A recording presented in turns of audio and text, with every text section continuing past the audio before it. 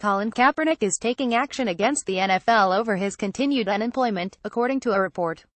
Bleacher Report's Mike Freeman said on Sunday that Kaepernick filed a grievance against the NFL owners accusing them of collusion.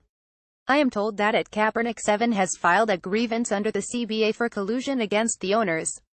If accurate, this is huge. Mike Freeman at Mike Freeman Full October 15, 2017 CBS Sports Jason La Canfora seconded the report. Colin Kaepernick is pursuing a collusion grievance against the NFL under the CBA, source says. NFL spokesman says he is checking on it. Jason La Canfora at Jason La Canfora October 15, 2017 Kaepernick has remained a free agent even while quarterbacks like Brian Hoyer, Jay Cutler, Kevin Hogan and Scott Tolzien have started NFL games this season.